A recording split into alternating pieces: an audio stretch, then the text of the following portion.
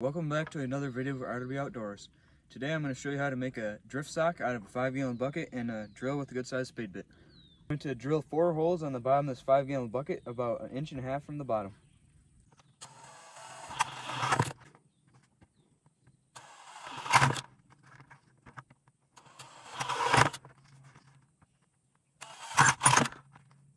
Now I'm going to take one of our tow straps and tie a knot around the handle. Just like so. Now I will just hook this to the back of the boat and it'll slow us down as needed for trolling. Without the drift sock, we're trolling about 2.1 miles an hour on idle.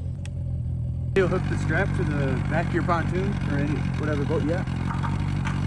Then you'll gently let your bucket up. Well, the drift sock slowed us down to about 1.5 mile an hour, which is good for crawler harnesses. Thanks for watching and please like and subscribe.